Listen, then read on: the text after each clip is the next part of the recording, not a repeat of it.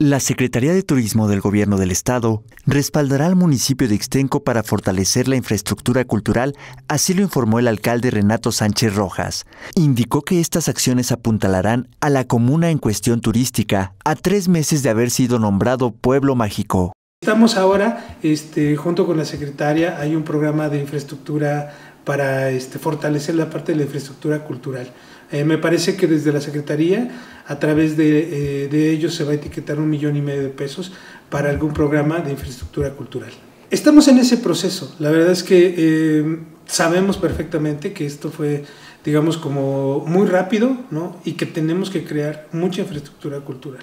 El Museo Nacional Otomí, estamos este, planteando pues el, el Centro Comunitario, Centro de Artesanías, es un colectivo donde van a comercializar todos los artesanos.